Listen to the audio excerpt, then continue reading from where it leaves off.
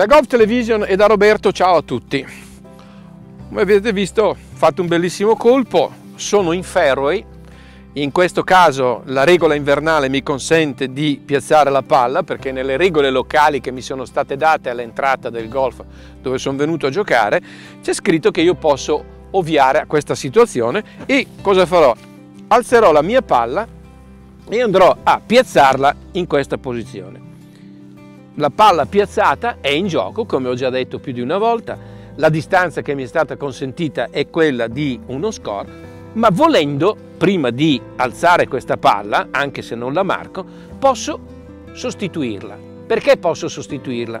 Perché in questo caso io vado a piazzare la mia palla. Quando non posso sostituire la mia palla? Quando la palla originaria deve essere ripiazzata nel punto dal quale l'ho alzata.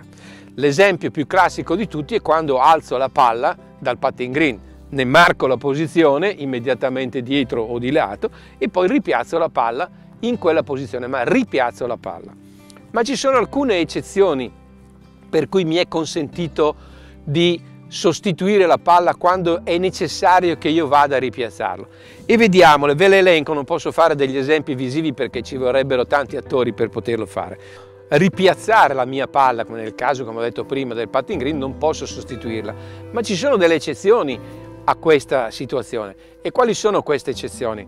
La prima è quando la mia palla non è facilmente recuperabile perché magari si trova in un'acqua temporanea. Un secondo caso importante è quando la mia palla è giocata da un altro giocatore che quindi quello ha giocato la palla sbagliata, quindi me l'ha in un certo senso me l'ha portata via, però l'ha giocata lui e io devo ripiazzare sul mio punto la mia palla originaria, ma non riesco a recuperarla ed è in quella situazione lì.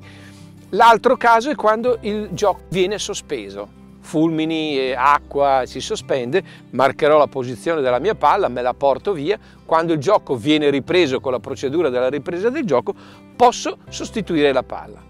L'altro caso, anche questo è molto importante, è quando dopo aver fatto un colpo sento che questa palla ha avuto un volo strano e marcando nella posizione della palla la alzerò per vedere o riconoscere se questa palla è effettivamente rotta o tagliata, visibilmente rotta o tagliata. In questo caso, se la mia palla è visibilmente rotta o tagliata, potrò sostituirla con un'altra palla. Questi sono i casi soli in cui io posso sostituire una palla una volta che sono obbligato a ripiazzarla nella sua posizione originaria. Come sempre, se avete dei chiarimenti, scriveteci, noi saremo in grado di rispondere. E da Gol Television e da Roberto, ciao a tutti!